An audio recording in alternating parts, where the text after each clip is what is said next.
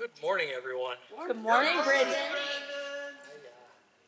This is so cool to be able to come here. Um, I was at the first Bardic Madness, and uh, to see it spread like mold all across the known world does my old heart good.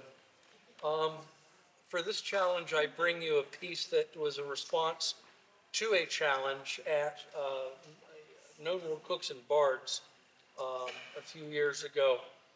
The, the challenge was two cooks and a brewer walk into a bard. and um, my muse sort of took it in a different direction.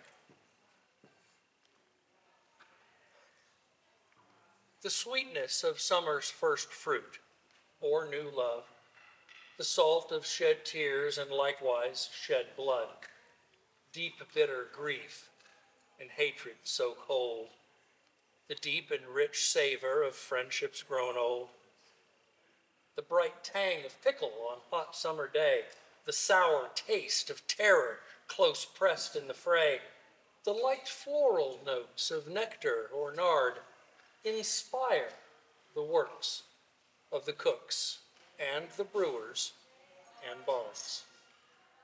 Bushels of vegetables. Late summers yield, barley and hops that grow in the field, the apples of autumn, the fruit of the vine, words set in order with rhythm and rhyme.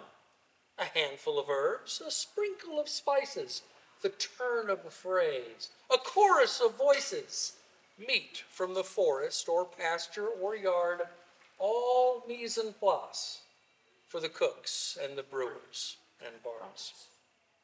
Both pointed and sharp, the knife and the wit, to carve off the fat, to pry loose the pit.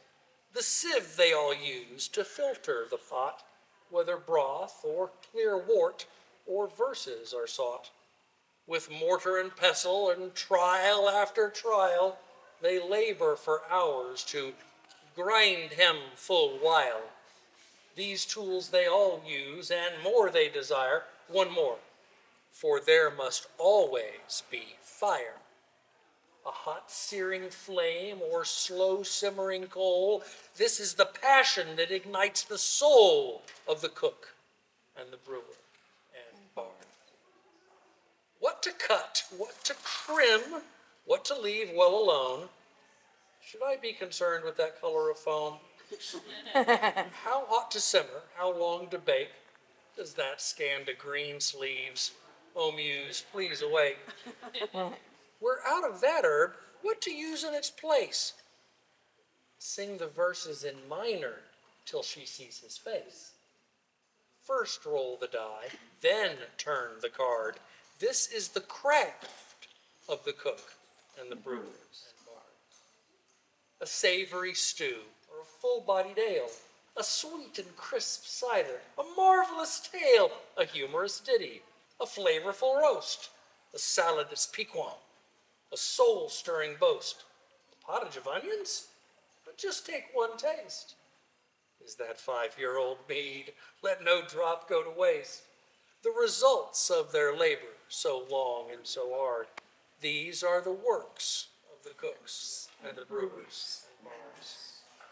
Laughter and merriment, visions and dreams, perhaps some shenanigans, nefarious schemes, minds stirred to action, hearts moved to tears, bold tales of courage, soothing all fears, a time of repast, all worries retard.